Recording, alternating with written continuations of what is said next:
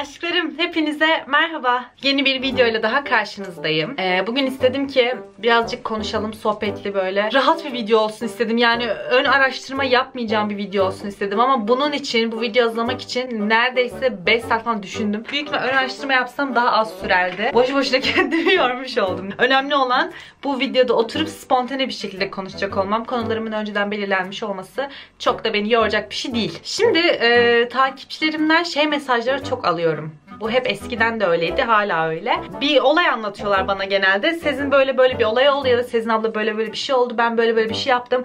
Çok büyük aptallık yaptım. Çok pişmanım. Sence doğru bir şey mi yaptım? Sence çok kötü bir şey mi yaptım? Sence çok mu salaklık yaptım? Ee, böyle şeyler soruluyor. Ben de herkese tabii tek tek cevap veremiyorum ama bazen konuştuğum insanlar oluyor. Ama genel olarak hani bu olayın sıklığı doğrultusunda dedim ki Sezin bunu kendine bir görev bil ve bu konuda bir video yap. Yani hepimizin zaman zaman ya bunu yapmasam da olurdu. Yani ben niye böyle bir şey yaptım? Yani buna gerek yoktu dediğimiz olaylar yaşadığımızı hepinizi göz önünde kanıtlayacağım. Normalde insanlar böyle şeyleri saklarlar ama YouTuber olmak e, bu demektir. Her şeyinizi burada dökmek demektir. Öyle bir şey demek değildir.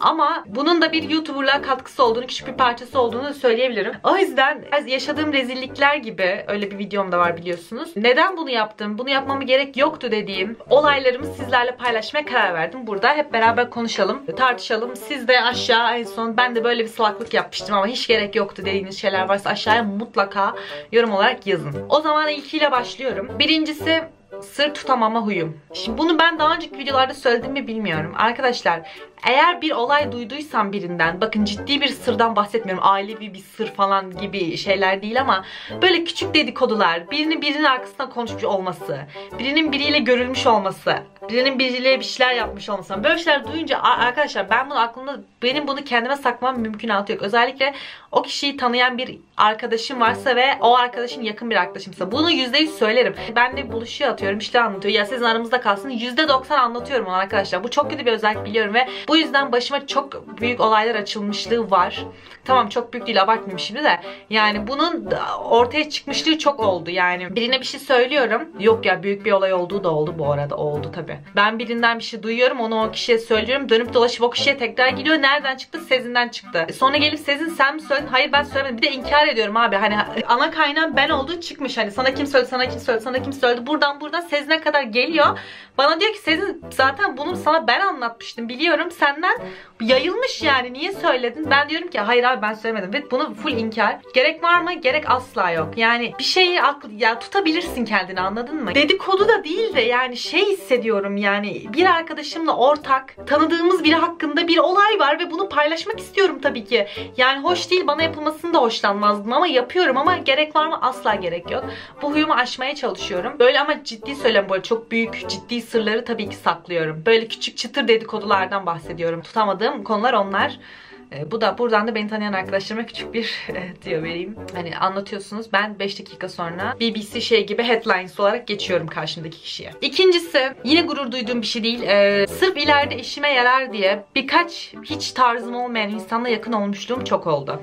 Bu özellikle e, YouTube camiasına girdikten sonra maalesef yaptığım bir şey. Hiç hoşlanmıyorum. Benimle konuşmasından hoşlanmıyorum. Bana davranıştan hoşlanmıyorum. Ama işime yarar diye o aptala o aptala yani yıllarca katlandığım insanlar oldu oldu maalesef. Gerek var mıydı? Hiç gerek yoktu. İşime yaradılar mı? Yaradılar. Ama gerek var mıydı? Yoktu. Yani işime yaramasın ama benim beynime etmesin. Beynin içine etmesin yani. Bayağı uzun bir süre e, hiç hoşlanmaya hoşlanmaya böyle konuştuğum insanlar oldu. Aramın iyi oldukları da oldu ama sırf işime yarayacak bir gün e, bir işte bir işime yarar bir şey olur diye yani hiç gerek yoktu o kadar insanla konuşmama. Sonuç olarak kendime işkence etmiş oldum. Gerek var mıydı? Hiç gerek yoktu. Bu çok cringe. Çok cringe. Çok cringe. Bunu nasıl anlatacağım? Çok utanıyorum. Hakikaten utan utancımdan yerin dibine giriyorum. Şimdi ben bunu bir videomda söylemiştim. Ee, ama hatırlamıyorsunuzdur büyük ihtimal. Ben birinden hoşlanıyorsam ya da birini seviyorsam diyeyim o sevgiyi karşımdakine kanıtlamak ve gözüne sokmak için elimden gelen her şey yapıyorum. Yani bir insan şey yapar. Hani biraz geri takılayım, geri çekeyim kendimi. Anlamasın ne yaptığımı, ne hissettiğimi. Yani bu kadar açık olmaya gerek Bende o yok. %100 bir şekilde ben ona aşıksam bunun 100 katını falan bilmesi lazım. Yani bunu ben 100, 100 üzerinden 50 aşıksam bunu onun 100 üzerinden 500 falan bilmesi lazım. Öyle bir kafadaydım. Biraz daha geçmişte yaptığım bir şey. Bu düşüncem yüzünden yaptığım bir şey. Of çok utanıyorum ya. Of nasıl anlatacağım bunu? Tamam anlatıyorum. Bir tane hoşlandığım çocuk vardı. Ya beğendiğim bir çocuk vardı. Onun, onun da işte sevdiği bir şiir gibi bir şey vardı. Şiirin bir dizesi sanırım. Aldım onu yazı falan yazdım o dizeyle alakalı upuzun bir yazı ve hani onun görebileceği şekilde paylaştım bir yerlerde ve bunu yaparken yaşım küçük değil. Üniversite 1'de mi lisede hazırlıkta mı neyim? Yani gördü falan onu yani görmüştür. Yani niye yaptın hiç gereği yoktu yani bunun. Niye aldım da onun sevdiği bir dizeden o dizeyi de bu arada herkesin görebileceği bir yere yazmıştı o. Ben de oradan gördüm. Oradan al sen upuzun bir yazı yaz onun hakkında. O yazıyla yazıyla saçma sapan şiir mi yazdım ne yaptım belli değil. Saçma sapan bir şey yaptım. Çok utanıyorum. Yani hiç gerek yok. Rezillik ve ötesi. Hiçbir şey de katmadı bana bu arada. Hani çocuk şey yapmadı. Abi çok etkilendi falan. Öyle bir şey olmadı yani. Yani kendi yaptığımla kaldım. Abi çok utanç verici. Bunun daha da üst boyutu var ama onu söylesem mi bilmiyorum. Çok kötü hissediyorum. Yine aşık olduğum bir çocuk. Yine yaşım küçük değil. O çocukla alakalı Wattpad hikayesi yazdım. İsim vererek değil ama onun olduğunu kendisi de biliyordu. Onu geçtim herkes biliyordu onun hakkında olduğunu o Wattpad hikayesinin. Bir de Wattpad hikayesi. Abi çok yine üniversitede oldu bu arkadaşlar. Lisede falan değil yani. Gerçekten çok utanç verici. Şu an var ya yapacağım en son şey ama sırf işte sevdiğimi görsün bilmem ne. Onu sanata dökme ihtiyacı hissediyorum falan. Böyle Allah'ım ya Rabbim diyorum. Yani şu an asla yapmam ve çok utanıyorum. Geçmişinden kaçamazsın Sezin. Ve bu geçmişim beni peşime asla bırakmayacak. Ben 60 yaşına gelince de bu an anımı düşünüp cringe olacağım. Yani çok çok saçma ve hiç gereği olmayan bir olay. O da o bana bir şey kattı mı o Wattpad hikayesi? Hayır. Hiçbir şey katmadı bana. Birini seviyorsan içten içe yaşa. Karşılığını alamıyorsan da sus otur yerine yani. Bunu öğrenmem çok geç oldu. Bunu nasıl öğrendim onu da söyleyeyim. YouTube sonunda götüm kalktığı için. Başka hiçbir açıklaması yoktu. Havalara girdim ondan sonra artık böyle şey yapmam dedim. YouTube olmasa ben gene yapmaya devam ederim. Kendimi biliyorum gerizekalı olduğum. Devam ediyorum. Yine işimle alakalı olan bir olay bu. Ee, yeni yeni böyle iş almaya başladım başladığımda özellikle Instagram üzerinden her gelen işi kabul ettiğim oluyordu yani saçma sapan saç yani kalitesiz kalitesiz birileri yazıyor ediyor ben onlarla işmiş yapmaya çalışıyorum. Bir kere bir YouTuber arkadaşım sizin de tanıdığınız bir isim bana insta şeyden WhatsApp'tan yazdı dedi ki ben böyle böyle bir marka var işte dedi. Tanıdık bir marka değil bu arada bir butik miydi? Yok yok falcı uygulaması falcı. Tüh, falcı uygulaması bir tane dedi. Onunla dedi çalışıyorum dedi. Senin de ismini verdim dedi. Seni bir arayacak şimdi dedi. Ben de okey okey dedim. Telefonla aradı beni direkt. O işte reklamını yapacağım markanın işte ya da şeyin sahibi diyor ki bana benimle öyle bir konuşuyor ki arkadaşlar yani iğrenç konuşuyor benimle saçma sapan ne yapıyorsun ne diyorsun bilmem ne işte e, şimdi şöyle bir şey yapacağız bilmem ne ben sana atayım falan filan. Bir anlattı anlattı bir şeyler ve ne yapacağımı da hiç söylemedi tamam mı? Yani diyor ki bizim diyor bir fal app'imiz var diyor onun tanıtımını yapacağız diyor. Bana diyorum ki e, ne yapacağım ama? Bana hani ne diyeceğim hakkında bir bilgi ver. Bu app nasıl çalışır bana bir anlat nedir ne yapılır? Bana ne dedi biliyor musunuz? İçerik üreticisi sen değil misin? Oraya öyle yazmışsın. Sen bulsana ne yapacaksın dedi Allah seni kahretmesin. Bu işler böyle mi yürür? Marka ne yapar biliyor musunuz? Sana nah bu kadar brief verir. Sen içeriğinde bunları bunları söyleyeceksin. Bunları bunları göstereceksin. Bunu kendi halinde yoğur der. Bu bana diyor ki daha nasıl çalıştığını haberim yok. Sen diyor içerik üreticisi benim markama ne işe yaradığını falan ne yapacağını sen bul diyor bana. Şaşırdım ilk defa böyle bir şey karşılaştığım için falan. Falan sonra 100 kere günde beni arıyor. İşte bir akşamına gireceğim. Sabah 8'de mi ne konuşmaya başladık. Akşam 6'ya kadar beni 100 kere arıyor. Saçma sapan konuşuyor. Bir de diyor telefonda bana. Dur diyor biri geldi diyor. Beni bekletiyor. Ben 5 dakika şu şekilde bekliyorum. Onun arkada birileriyle konuşmasını. Çok kötüydü. Bu arada bana bir de işi yapmadan önce parayı direkt hesabıma gönderdi. Ben en son dayanamadım. Kudurdum. Çünkü benimle gerçekten çok terbiyesiz konuşmaya başladı artık.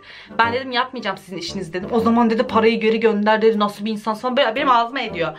Daha sonra gittim. Akşam akşam o parayı ona geri göndermek için bir yerlere gittim de o bankayla bankayla uğraştım. Banka göndermedi bir şeyler oldu. Ondan sonra 1 lira mı 2 lira mı ne fazla göndermişim. Bana sonra diyor ki 2 lira fazla göndermişsin hakkını helal et. Ben de dedim ki helal olsun. Ama içimden dedim ki İnşallah helal olmaz.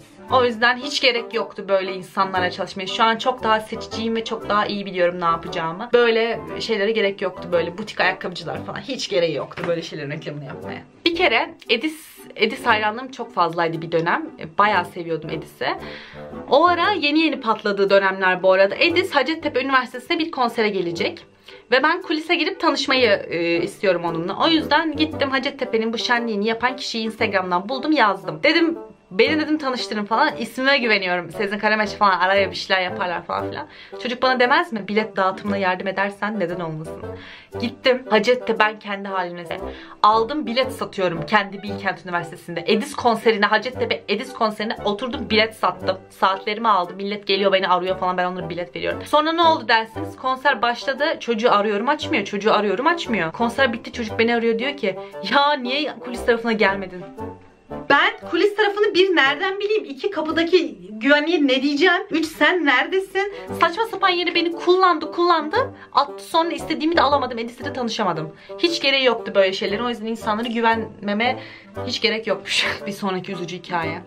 Ben oyun yaptırıyordum arkadaşlar. Bundan bahsetmiştim hatırlayanınız var bilmiyorum. Simulacra tarzı bir oyun yaptırıyordum. Tüm senaryoyu kendim yazdım ve çok uzun süren bir olay bu bu arada. Çünkü Simulacra'yı hatırlarsanız her seçeneğinizden yeni seçenekler oluşuyor. Yani her seçiminizde, her seçtiğiniz kutucukta, mesajda yeni bir hikaye açılıyor. Yani üç farklı sonla bitecek sonsuz olasılıkta bir senaryo ve bunu yapana kadar benim canım çıktı. Ve bunun için tabii çekim falan da yapmak lazım. Fotoğraf çekimidir, insanları bulmak falan. Bunların hepsini ayarladım ve benim aylarımı aldı. Bunların hepsini yapmak. Oyuncu falan buldum sırf bunun için. Hani oyun oynasın, e, videolu bir şeyler olacaktı çünkü videolu, fotoğraflı falan. Her şeyi yaptım. Bir tane de bizim okulda bir çocuk vardı.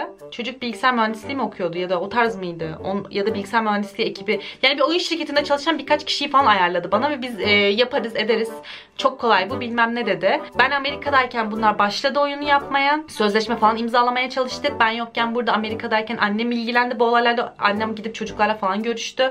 Hani o kadar ciddiye bindirmiştik. Sırf bu yüzden şirket açmıştım. Neyse şu an şirketim var ama işe yarıyor çok şükür. Ve çocuklar ben döndükten sonra 6 ayın sonunda beni ayaklarına çağırıp çocuk bana dedi ki biz yapamadık beceremedik zormuş dedi ve beni yarı yolda bıraktı. Ve ben o kadar oyunda oynattığım 5-6 kişiye mahcup oldum. Artı olarak Instagram'da da hafif tiyo vermiştim böyle bir şey yaptığıma dair. Onlara da rezil oldum. Beni böyle mal gibi ortada bıraktı. Madem yapamayacaksın başta söylesene beni yarıda bırakıyorsun. Çok sinirlendim. Hiç gerek yoktu böyle bir şeye. Yani hiç e, profesyonellerle çalışmalıydım. Bir dönem Tinder kullandım utanç verici anlarımdan biri. Hiç e, gurur duymadığım bir dönemim. Gerçekten bir ara Tinder kullandım. YouTube'dan falan da önce bu arada bayağı eski. Başıma Allah'tan kötü bir şey gelmedi ama çok saçma ve hiç gereği olmayan bir olaydı. Yani mesela İla, İlay'ı da zorla üye yapmıştım. Mesela İlay da bir çocukla eşleşiyor. İlay'la konuşuyor. Ben de aynı çocukla eşleşiyorum konuşuyorum. Sonra buluşmaya gidiyoruz ama İlay'la gidiyorum ben.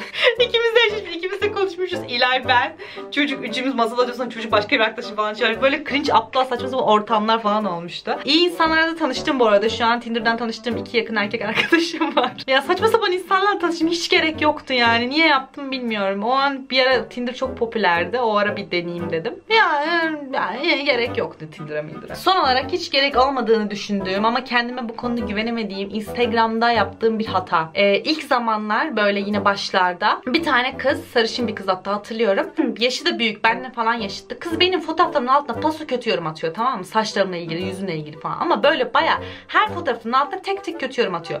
Ben kafam attı. Olsa 10.000 takipçim ya var ya yok Instagram'da. Kafam attı. Kızın fotoğraflarının hepsini screenshot alıp story'me attım. Kıza dalga geçmek için. Şunun tipe bak bir de bana böyle diyor aha diye. 10.000 kişiye böyle bir şey yapar mısın Sezin ya? Allah seni kahretsin. Yapılacak en büyük hata yani. O ara bir ajansın bünyesindeydim. O ajans beni uyardı. Sezin hedef gösteriyorsun şu an. Öyle bir şey yapma dedi de sildim. Kudurdum gözüm döndü. Milletin gözünün önünde hedef gösterdim kızı durduk yere sinirimden. Mesela buna hiç gerek yoktu. Hiç yapmam gerek yoktu. Bir kere yaptım onu. Ee, ama sinirlenince böyle bir şey yapar mıyım bilmiyorum. Yani biri çok damarıma basarsa şu an sadece tipimi hakaret etmesinden kastetmiyorum ama böyle ağır bir küfürdür bilmem nedir. O zaman belki ifşa edebilirim ama şu an yani bu kadar küçük kötü yorumlar içinde o kadar kişinin önüne kızın fotoğrafını atmama hiç gerek yoktu. Çok ayıp bir şey. Onu yaptı da ayıp bir şey de benim yaptığım da ondan az kalır yanı yok. O yüzden üzgün hissediyorum bu konuda. Hala da unutmam. Bakın üstünden kaç sene geçmiş. Unutmuyorum. Yapmama hiç gerek yoktu böyle şeyler. Böyle de pişmanlıklarım var işte. Hiç gerek yoktu ve pişman oldum dediğim e, olaylar bu yönde. Sizin de bu şekilde şeyleriniz varsa aşağı mutlaka yorum olarak yazın. Bir de şey söyleyeyim. Yani ben sürekli kötü şeylerimden bahsediyorum. Burada da oturup iyi şeylerden bahsedemiyorsun YouTube'da. Ne diyeyim? Ben çok iyi bir insanım. Ben süper birimliyim falan. Böyle şeyler bahsedemiyorsun. O yüzden utanç verici anlarından yapmama gerek yoktu. Hatalarımdan, öğrendiğim şeylerden falan filan bahsetmeye çalışıyorum. Yoksa kötü bir insan değilim. Beni tanıyorsunuz artık. Öyle aşağı yorumlarınızı bekliyorum mutlaka. Sizi çok seviyorum. Bir sonraki videoda görüşmek dileğiyle. Hoşçakalın.